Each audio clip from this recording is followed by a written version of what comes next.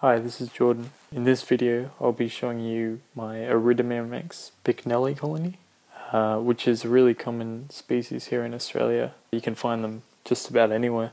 This colony has around 150 to 200 workers, and uh, it's just over a year old. Similar to my Pheidole colony, they've actually grown quite a lot in the last few months. You can see here the queen's sitting on a pile of her eggs there. Uh, apologize for the image quality. This colony is a little difficult to, to film just because it's hard to get light into certain parts of the nest.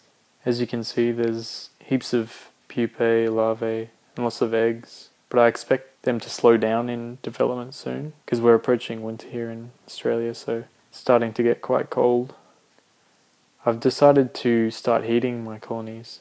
Here you can see I've set up a uh, heating mat which sits underneath the nest and I only have a small portion of the nest actually touching the mat. What this does is create a temperature gradient throughout the nest.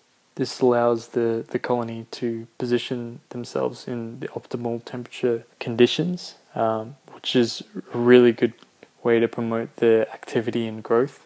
It's also interesting to see which areas they allocate for certain purposes. I usually find the pupae gets placed in the warmer chambers and the queen larvae and eggs into the cooler chambers. So here's the outworld I've got set up for them. It's about the same size as the nest. And I'm thinking of introducing like a larger one soon just to give them more room to explore. This colony consumes quite a lot of food. Uh, usually I feed them at least once every day for a source of protein, I usually feed them mealworms and crickets, and um, occasionally bits of chicken and ham. They love um, to have a variety of different foods to choose from. I notice if I give them, say, mealworms for a week straight, they'll pay less and less attention to them. And as soon as I give them something they haven't had in a while, they'll, yeah, they'll just swarm on that new source of food.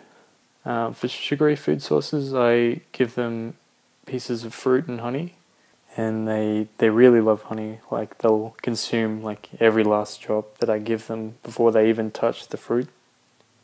Okay, so that's all the footage I have for now. Um, thanks for watching, and I hope you got something out of this.